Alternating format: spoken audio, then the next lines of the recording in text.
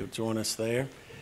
It is so good to have Dawson McAllister with us. We've been praying for him. He and his brother Jake, they're visiting for uh, till July 9th, and we're just uh, so happy that he is doing well and glad they can spend time with the grandparents. And um, so, welcome to Virginia. Thank you guys for bringing all that hot weather with you from Florida.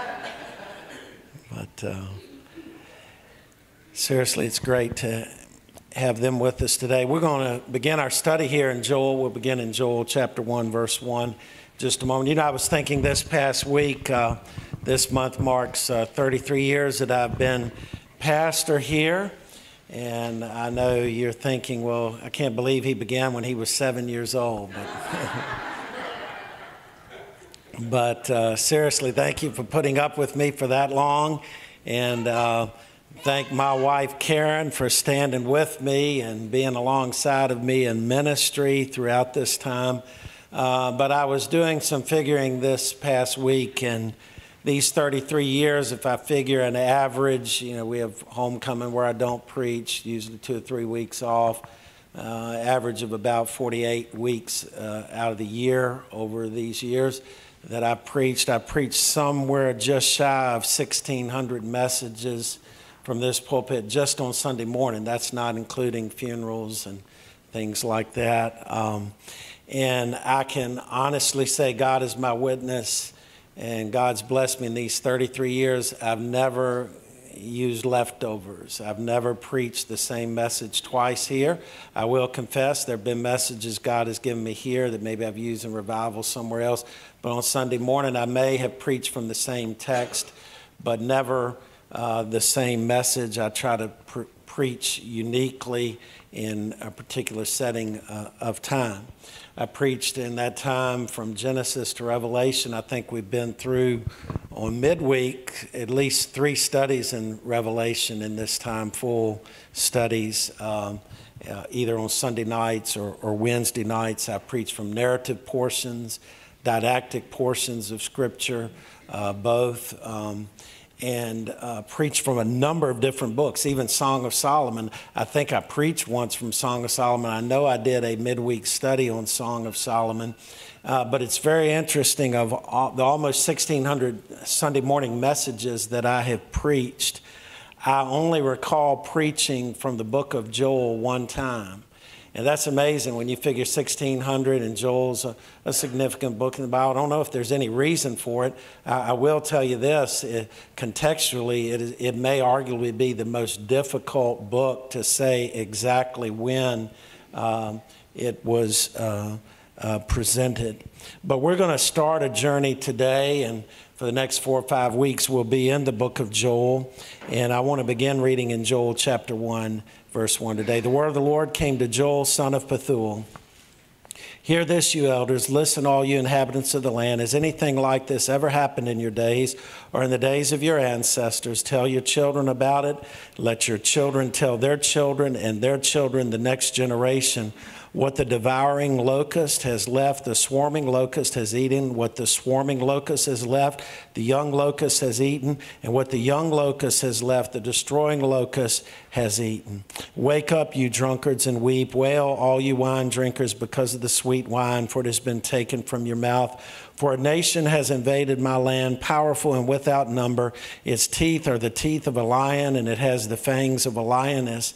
It has devastated my grapevine and splintered my fig tree. It has stripped off its bark and thrown it away. Its branches have turned white and that, that is, all the bark has been torn off. Grieve like a young woman dressed in sackcloth, mourning for the husband of her youth. Grain and drink offerings have been cut off from the house of the Lord. The priests who are ministers of the Lord mourn.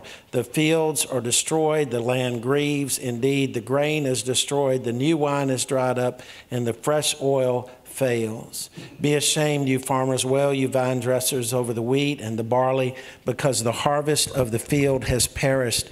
The grapevine is dried up, and the fig tree is withered, the pomegranate, the date palm, and the apple. All the trees of the orchard have withered. Indeed, human joy has dried up. Dress in sackcloth and lament, you priests, wail, you ministers of the altar. Come and spend the night in sackcloth, you ministers of my God, because grain offerings and drink offerings are withheld from the house of your God.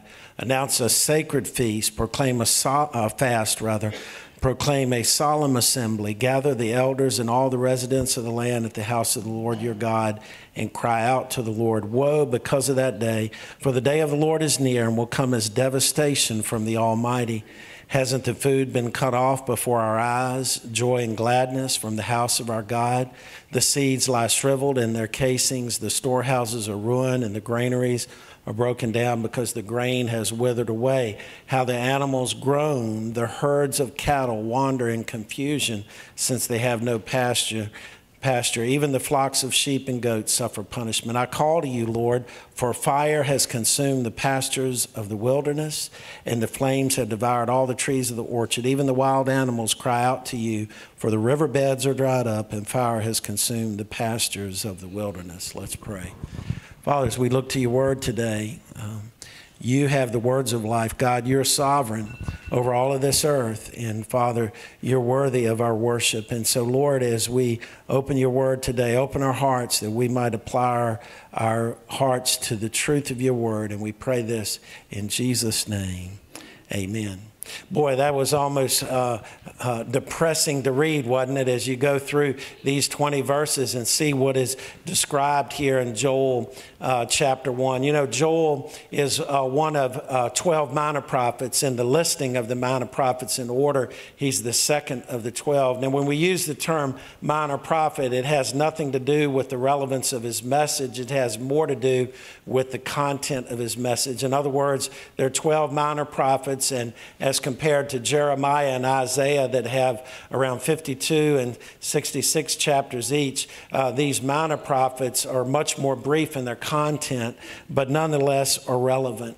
In the case of Joel, uh, there are three chapters in Joel, and we know very little about the prophet Joel. In fact, what we see about him uh, background wise, we find in really the first verse, and there's very little said other than the name of his father. His father was named Pethuel. We know nothing much about Joel. His father, Pethuel, was not a, a, a notorious person in the Bible. We know that Pethuel, his father's name, is a spiritual name. It is persuaded of God. So we might assume that Joel himself was raised in a God fearing home. The name Joel means Yahweh or the Lord is God. But other than that, we know very little about him. We know very little about the date of his prophecy. For instance, when you open up uh, Zephaniah and you begin to read there, in the very first verse or two, you can tell that he wrote, it says, in the days of King Josiah, one of the kings of Judah. Uh, when you open Zechariah, which has about 14 chapters and is, I believe, the penultimate, the second to last book uh, in the Old Testament, um, and you read that, you understand that he wrote during the time of uh, the, the Darius the Mede, the Medo Persian king. And so we can read these and we can understand exactly when uh, these other prophecies were given.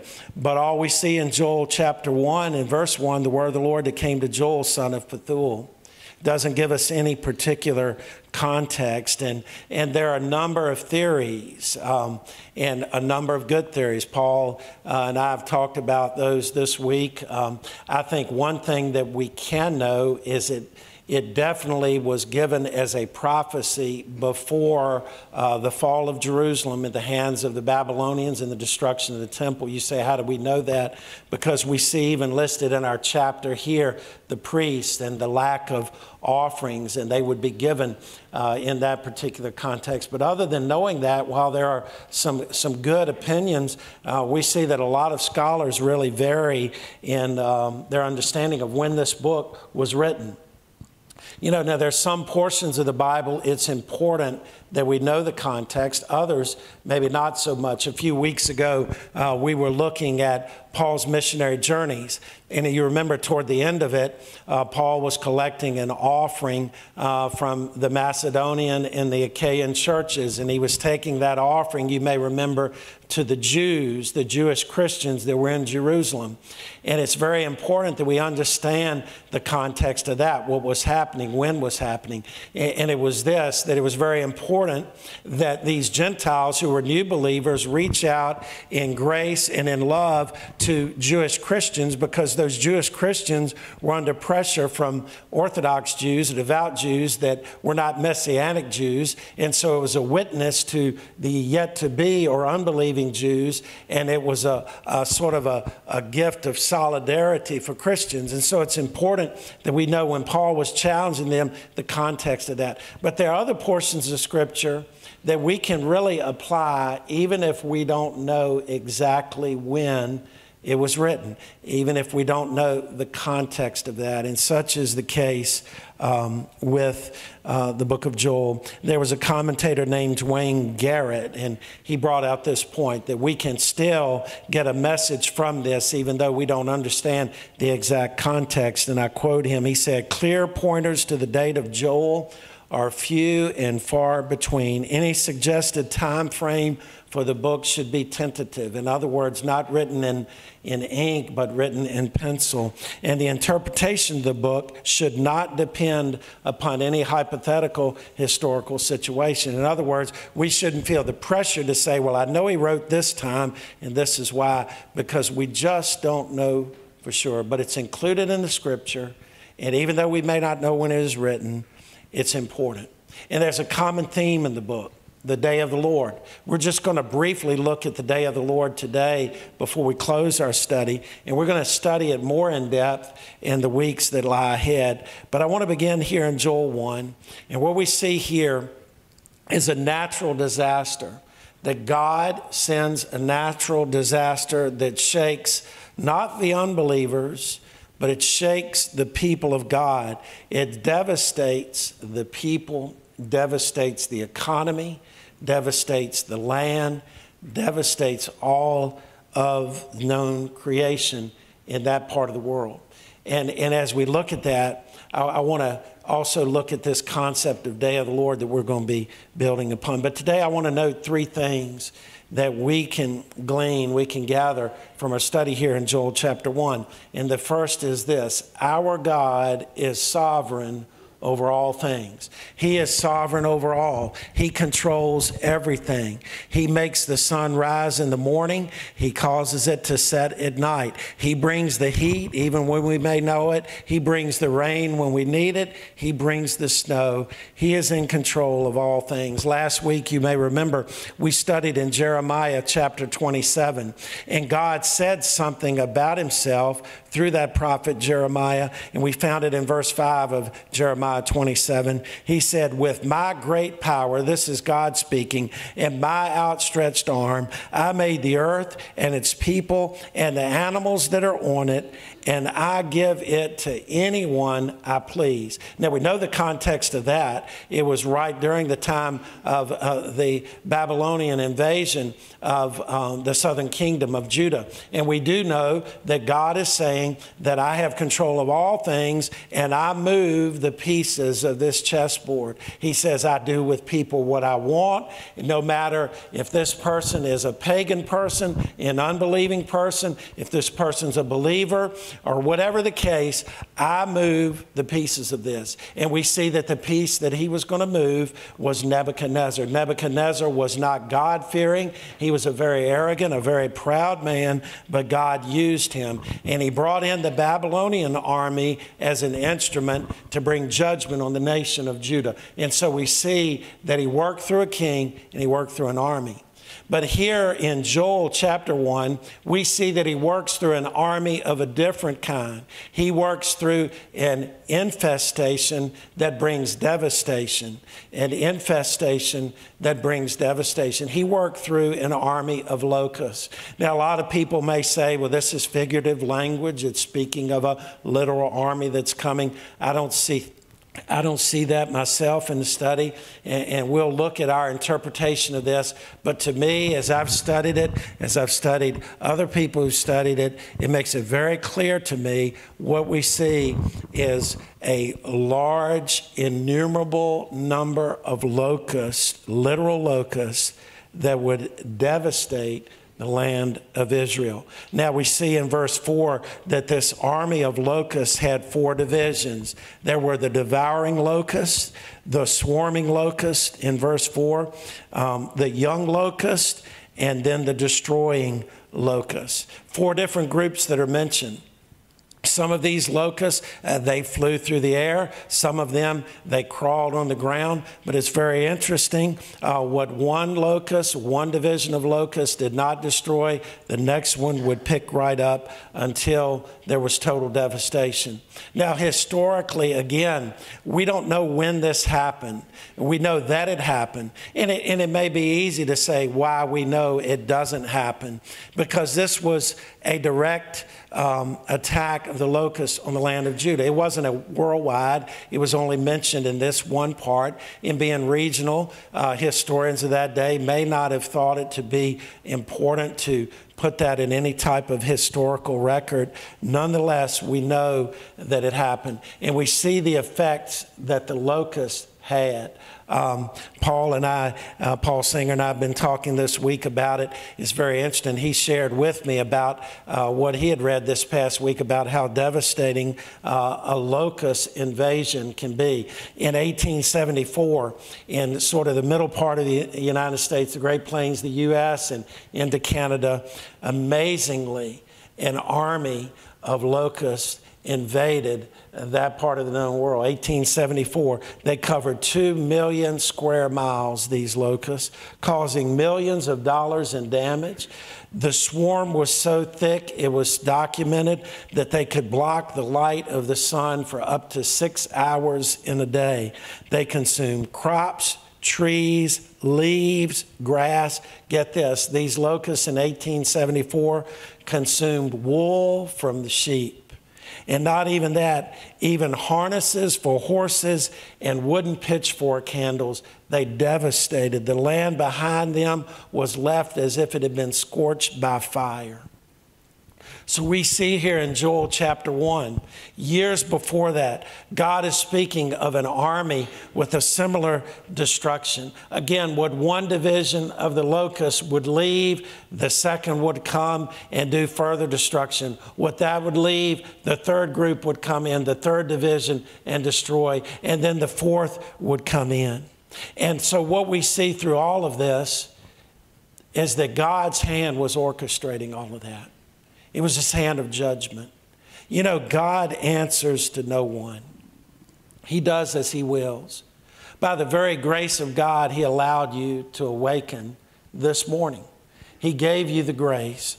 By God's grace, He has kept you free to this point, maybe from cancer or from some other debilitating situation. By God's grace, maybe God allowed doctors to find a disease and catch it early enough to be able to bring healing. But God is sovereign over all things. He uses whom and what he desires. He does it to send big messages to nations, as we see here, and He is sovereign over creation to use it even to speak to individuals. One of the greatest illustrations of this is found in Jonah chapter 4. We've looked at it before.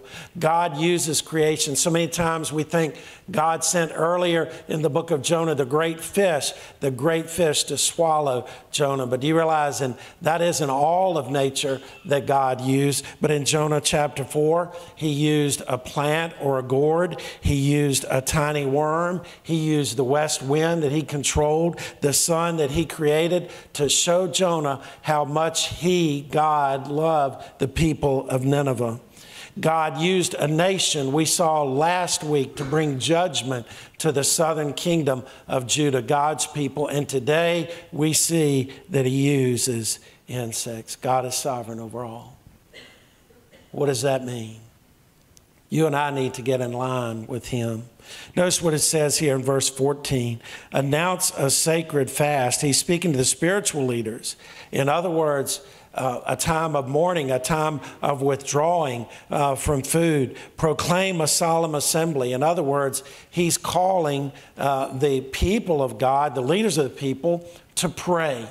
We pray to our sovereign God. We're getting ready to send, I believe it's around seven children, and, and four counselors will, are going with them this week. Some of these young people, they need to accept the Lord. They have never trusted Jesus Christ. Guess what? God is already knocking on their hearts. And we as the church, um, we have counselors that are going to be talking to these children about God, but we need to be talking to God about the children. We need to be praying, God, save these young people. Help them to see who Jesus Christ is. Guess what? God is so sovereign that He can bring in a swarm of locusts and devastate a land. He is so sovereign that He can overwhelm the heart of a young people with the love of Jesus Christ that they would believe in Him. Our God is sovereign and He can do it. Well, I want you to see a second thing. Let's see how God acts. He sends a devastating judgment on His people. It's very interesting. No specific sin is listed here on behalf of the people. Now, there can be the argument in verse 5, he addresses the drunkards, and that is a sin. It is a sin to uh, excessively indulge in alcohol, all right? to the point of inebriation. Okay, but but really, even with that, I don't think he's so much talking about that particular sin as he was talking of people who were dependent upon the vine, and the vine was getting ready uh, to dry up. But we do know this God is sending a judgment, and the judgment is coming uh, through these particular insects. And I want you to see a couple of things regarding the judgment. First, it was an exhaustive judgment. We've already seen it. What one division uh, did not destroy, the next division would come in and destroy. And, and, and we see described in verse 6 it is a nation. Now, I believe nation there is figuratively you. It's speaking about the locust because we see the result powerful and without number. Its teeth are the teeth of a lion, the fangs of a lioness. As we just saw how destructive they can even take the wooden handles off of something, this army. And they made prey what? Not of the people. They made prey of the land. But there was a domino effect that affected the people. It says that it devastated the vine and splintered the fig tree in verse 7. And then in verse 10, it says, The fields are destroyed, the land grieves. Indeed, the grain is destroyed, the new wine is dried up, all the fresh oil fails. In other words, it was just like was described to us in Sherman's march uh, through Georgia that the land before may have been rich and afterward, it was devastated, it was scorched, it was destroyed. Fire is the picture of judgment we see later in this, but it's the destruction that this army of locusts brought. But it was not only an exhaustive judgment, it was an economic judgment you know, we're so blessed. We have the opportunity to go to grocery stores. But we forget sometimes in the Bible, in this agricultural economy, uh, there wasn't, there were not grocery stores. In, in, that day, you ate directly off the land. The agriculture controlled the whole economy directly. Now, even in our economy, it affects it, believe it or not. But directly, you can see that. And so we see there was this domino effect the land was devastated by the locusts, and then that directly affected the economy. And that was the second uh, effect the economy on the people. And it's difficult for us to understand it, but I want you to see the groups that were affected. First, the consumers were affected by this. Verse 5 Wake up, you drunkards, and weep. Wail, all you wine drinkers, because of the sweet wine, for it has been taken from your mouth. Now, was it literally just, was it grabbed out of their hands? No. What had happened? The vine was drying up, and those who enjoyed consuming the fruit of the vine, they were to wail because it was being stripped from them.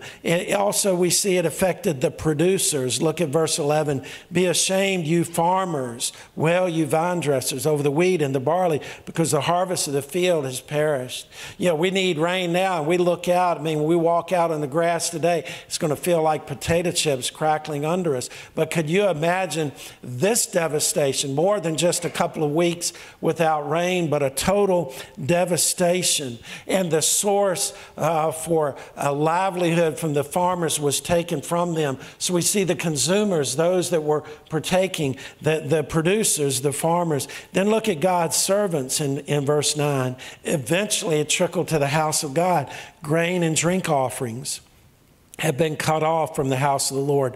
The priests who are ministers of the Lord mourn. Why were the priests mourning? Uh, they were to take the offerings that were brought from the people into the temple area, but they weren't there. There were no more drink offerings because the vine had withered. The animals were shriveling up. There was no, there was no vegetation, and so it affected even the house of God. It affected the young and the hopeful. Look at verse 8. Grieve like a young woman dressed in sackcloth, mourning for the husband of a youth. What a grieving thing. Uh, a young woman anticipating, engaged to be married to the young man, and then the young man be taken away in death. And in a way, it was like the land experienced death, and those who were to enjoy the land, the young and old alike, were devastated. The old and experienced, verse 2. Hear this, you elders. Listen, you inhabitants of the Lord of the land. Has anything like this ever happened in your days? In other words, he was talking to the old people and he was saying, You've lived a lot of life, but what you're seeing here in these days has exceeded all of it. So we see the devastation affected the economy, it affected the old, it affected the young, it affected the producers, the consumers, it even affected uh, the believers, the, those that were carrying out the ministry of the church. God sent it, and it devastated the economy. You know, we're in the midst of campaign season. One thing that makes me either laugh or cry is when a man will take credit for the economy. Bidenomics, MAGA economy, and they're up there like, we are the real deal. We have all of the answers. And I'm thinking, man, God can shake it in one second. In one second. Make no mistake about it, there's not a political figure who controls the economy, it's God. And God is looking at our nation, and He's looking at our nation and we're calling what's right wrong and what's wrong right. And we're supporting the annihilation of babies in the wombs. And we're supporting uh, lifestyles that are unacceptable and an abomination to the Lord, trying to fear various groups. And we're saying, God bless us, bless our economy. Man doesn't control the economy. You cannot read the Bible without understanding God controls the economy. One of the greatest illustrations of this was found in 2 Kings chapter 7 in Samaria. And the setting was this there was a great famine over all of Samaria, a donkey's head. Now, I don't know, I haven't eaten a donkey's head before. It's not a delicacy, all right? But it said in that day in 2 Kings 7, you can read it, that the donkey's head sold for a prime amount of money. In other words, people were starving so much, the economy was so bad, they would pay a mint to eat a donkey's head. Not only that, dove's dung as food brought a prime amount of money. In other words, they were in a famine. It was a devastating time. And Elisha, not Elijah, Elisha the prophet came on the scene. And he said, It's going to change in one day. And he said this six quarts of fine flour, which you couldn't have found anywhere before he preached that, will sell for just half an ounce. It's nothing. There'll be such an abundance it, you can give pennies and you can buy a lot. There's going to be so much. The law of supply and demand, there's going to be so much supply, it'll only cost pennies. And the king's servant looked at Elisha and said, If God opened up the heavens, it wouldn't happen. Elisha said, You'll see it, but because you believe, you won't ever enjoy a bit of it. And it happened just like he said. And it happened in a way that only God could orchestrate. There were four men who had a skin disease. They were like lepers. They weren't part of uh, the, the uh, people group. They weren't, they were outsiders. And they said, Look, we're starving. These people who've rejected us, they don't have anything. Let's just go over to the Arameans and see if we can get some food. I mean, we're already dying. Let's just see if the Arameans will give us some food. And so they went in the camp. Guess what they found? The camp was empty of people, and there was an abundance of food that could have fed all of the people of Judah for I don't know how many days, how many, maybe months. And so they went and they enjoyed all they had, and they said, We're going to tell. And the people of, of, Judah, uh, the people of Samaria said, Look, it's a trap. They trapped us. They're going to try to lure us in. They know we're hungry. But then they got so def- desperate, they went in, they ate, and then six quarts of fine flour sold for a half an ounce. That's a sovereign God. He can bring it any way He wants, but make no mistake, He controls it. He controls it. So as we close the study this morning, we're going to open a study of a concept we're going to be looking at over the next couple of weeks, and it's called The Day of the Lord. Now, we're going to spend more time on it, but I want to look very quickly at, at, four things, and these will be very quick because we're going to be moving. We don't have the time today. We're going to look more at the day of the Lord uh, ahead. But there are a few things to note. The first, the day of the Lord is a day when there's no mistake that God acts directly in history. It is the day of the Lord. It is His day when He works directly in history. The second thing, especially in the Old Testament, when the day of the Lord is mentioned, it is often a day that is accompanied by judgment against sin. That God is acting, it's not some uh, indirect way, it is a direct action of God, and it is many times in the Old Testament was mentioned it is associated with judgment of the ungodly. Now, here's the third truth it has both a past, a present, a future, and, a, and an ultimate reference. You think of this the day of the Lord in the Exodus was when? When God came down and he parted the Red Sea. That was the day of the Lord. It was unmistaken. It was a visitation from God. There was no other explanation than God parted it because once Israel crossed and then the Egyptians tried to go through, the water fell back over them. It is a present day. It can have a present implication. It did here in Joel chapter 1. This was a day of the visitation of God. He is the one who controlled, who acted, who brought the army of locusts, but also it is a future day. Look at chapter 2 and verse 18.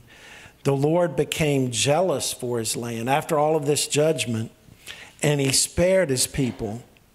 The Lord answered, I'm about to send you grain, new wine, and fresh oil. That is a direct act of God, a visitation of God. He had sent the judgment. Then we see that he was going to send healing.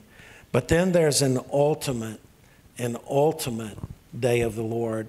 And that's what we often speak of. And that is the day when the Lord Jesus Christ comes back. Revelation 1 7 says, Every eye will see him. Now, the Jehovah's Witness and knock on your door, they'll say he's already come, and only the people who believe like they believe uh, saw that. No, because that's a total contradiction of Scripture. Revelation 1 7 says, Every eye will see him, even those who pierced him. There's coming a day when Jesus Christ is coming back. And we see here in Joel 1 a day of the visitation of God, which was a terrible day for those who had disobeyed God. But I want to tell you today this ultimate day of the Lord when He comes back doesn't have to be a dread, a day of dread for you. A few years back, um, when our youngest son, John Mark, was still at home, he was the uh, only son left at home that time. Um, he was probably a, a, senior in high school, and Karen and I were gone. It may have been overnight or for most of the day, and we decided to leave John Mark on his own. Um, probably a mistake. We came back that day. He didn't do anything terrible. He didn't rob anything. He didn't. But when we came back, um, we had an informant that said he left and left the door wide open. He was in Farmville for like eight hours or six hours or whatever, and left the door to the house wide open. So I knew that when we came back. Then we came back, and he and his good buddy Mal- Malachi were hanging out. And I go into the kitchen, and the freezer door is left wide open. They had gotten freezy pops. They left the door, they, they threw the box away, but they left the door to the freezer wide open. We lost all of that stuff. And it was a terrible day of visitation when Karen and I got home.